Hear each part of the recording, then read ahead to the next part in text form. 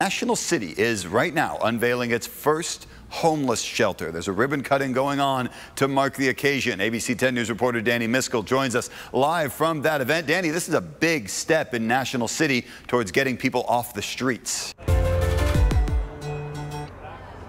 Good morning, Jared. Yes, it is. And the ribbon cutting ceremony just concluded. I'm here off of 24th Street and Euclid Avenue, and this is where the very first homeless shelter in National City will be. And they're going to call it the South County Lighthouse Center.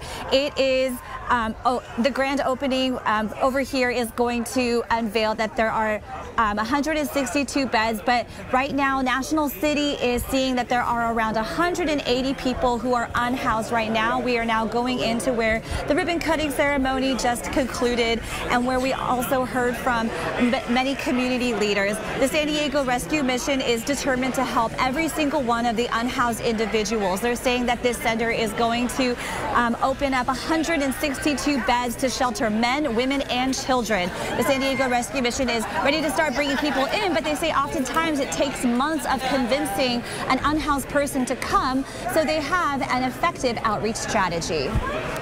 We have a shower trailer uh, that is designated for National City. We bring the shower to where uh, homeless individuals are. Changing people's minds to come to a center like this is complicated. It starts with taking a shower, changing clothes, providing some food. So that is San Diego Rescue Mission's Vice President of Operations, and he said that this will be a navigation center for men, women, and children. They'll stay here for about a month, and they will be paired with services that will help them transition into stable housing. San Diego Rescue Mission tells me that oftentimes the unhoused community turns an invitation, turns down an invitation to the shelter because they know shelter is typically um, known to be run down. But that's why the mission believes that in order to bring the unhoused into their shelter successfully, it needs to start with the facility. If the facility is something like this, that smells good, that have the best furniture, that have the best bathrooms, in their mind, they're saying, oh, this is nice, they will take care of us.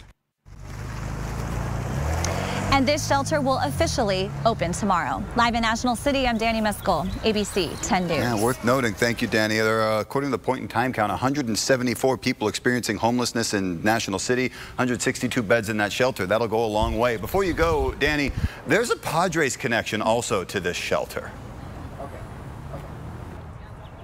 Yes, Jared, we actually heard from Tom Seidler, and he says that after Peter Seidler's passing, they started the Peter Seidler Legacy Project. This is the very first project in his portfolio, and they made a $350,000 contribution to this shelter.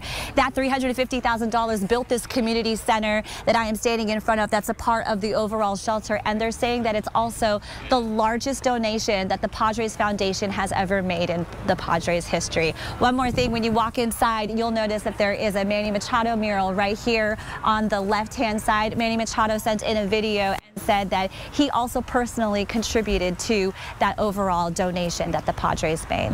Fighting homelessness was one of the things Peter loved to do under the radar. Good to see that that work is still going on after his death. Thank you very much, Danny Miskell, live in National City.